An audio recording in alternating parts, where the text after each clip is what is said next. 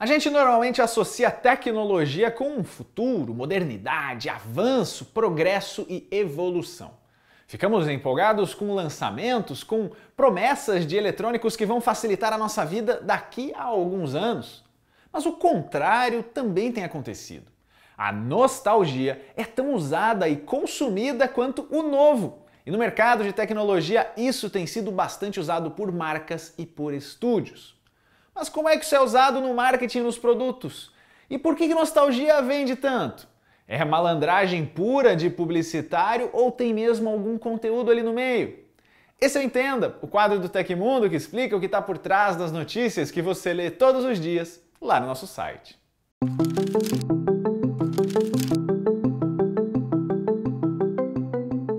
Antes da gente entrar no tema para valer, vale uma curiosidade. Nostalgia, a palavra, vem da união de duas palavras do grego e significa dor do passado. Esse termo nasceu lá no século XVII, criado por um jovem médico suíço, para descrever só sentimentos inicialmente negativos, como sentir falta de casa durante uma guerra ou como uma condição de saúde que envolve melancolia e ansiedade. Foi só com o passar do tempo que nós passamos a ver a nostalgia também pelo lado positivo de melhorar o humor a partir do conforto e ajudar a fazer conexões sociais por temas em comum. Mas como é que isso acontece em tecnologia que geralmente é sobre futuro e não memórias antigas? Um exemplo clássico é o relançamento de produtos com nome e visual remetendo a modelos antigos. Isso acontece bastante com celulares, sejam eles smartphones ou não, e também com consoles no mercado de games. Além disso, serviços de streaming e estúdios de televisão ou cinema apostam em franquias e continuações de séries ou filmes mais velhos, agora em especial das décadas de 1980 e 90. Nesses casos, eles misturam conteúdo com referências e homenagens, trazendo o fator novidade ao mesmo tempo em que eles reativam velhas lembranças. E claro que tem o público que simplesmente prefere jogar ou ver conteúdos mais antigos do que as coisas que são lançamento. Aqui, o ideal é que a pessoa também expanda os horizontes, dê a chance para produtos novos. Mas muitas vezes isso é um processo bastante lento que exige o convencimento. Beleza, mas por que esse sentimento vende tanto assim? São vários os motivos e a gente vai citar só alguns deles que atuam de forma conjunta e sem necessariamente uma ordem, mas tem um fator entre eles que é o principal: conexão emocional. A nostalgia faz o consumidor relembrar tempos mais simples e de menos responsabilidades, com memórias normalmente felizes da nossa infância. Você se lembra do celular que tinha não só porque ele era bom ou bonito ou porque a bateria durava para sempre, mas porque essa lembrança está colada com a memória de parentes, amigos, momentos da sua vida que hoje estão cada vez mais distantes. Lembrar de uma dessas coisas leva a se lembrar de outras e assim por diante. Quem viveu a época original do produto tem esse sentimento, enquanto quem não viveu fica curioso em saber mais sobre esse mundo dos pais, dos avós. Você não vai querer tirar fotos com resolução de 2 megapixels ou ouvir músicas com uma qualidade ruim pela compressão exagerada do arquivo. O que você quer é relembrar, reviver ou conhecer o período em que se fazia isso. Aí então é o papel das empresas unir essas memórias com o consumo e não tem nada de errado nisso se for tudo muito bem feito. Às vezes, a propaganda ou série mostra uma versão romantizada e pouco crítica da época, mas faz parte do marketing não mostrar esses pontos negativos. Além disso, a nostalgia tende a ser mais forte durante tempos difíceis. Nós passamos não só por problemas econômicos, mas também uma pandemia que fez muita gente refletir sobre toda a vida.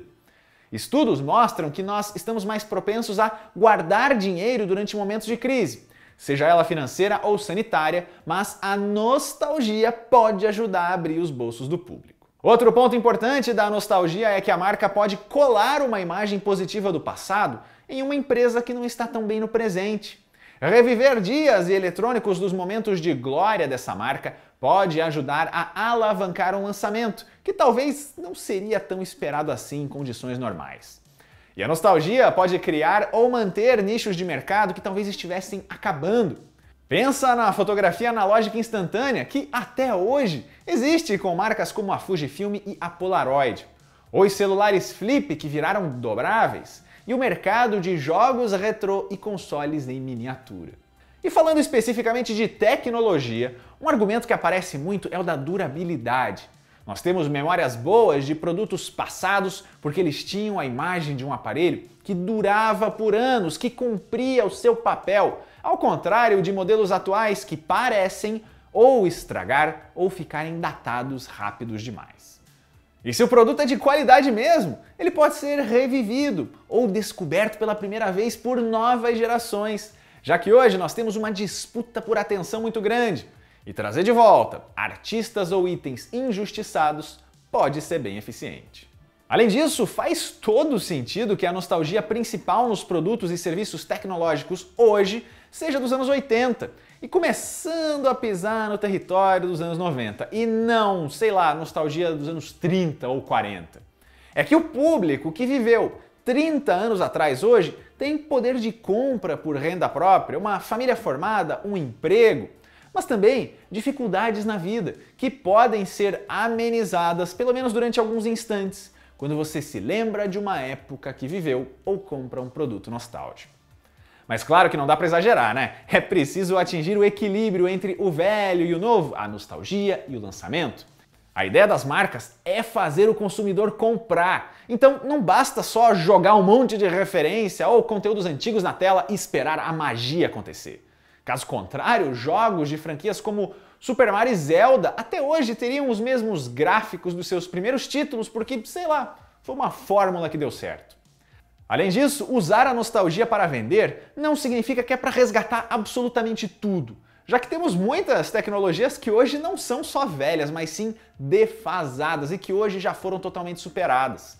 Quase ninguém vai preferir usar CDs para guardar dados ou fita cassete para ouvir música, tipo o Star-Lord dos Guardiões da Galáxia.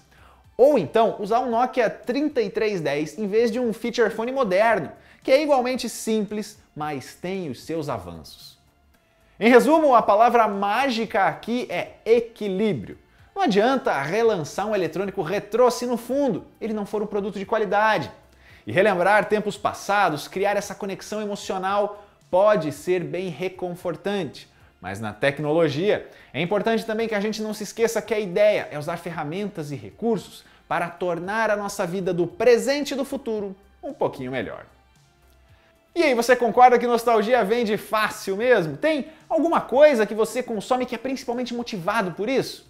Que produto ou marca do seu passado você gostaria de ver de volta no mercado? Vamos conversar aqui embaixo nos comentários. Não se esqueça de deixar o seu joinha no vídeo se inscreva no canal para mais conteúdos como esse e confira a playlist do Entenda para saber do que mais a gente já falou por aqui. Até a próxima!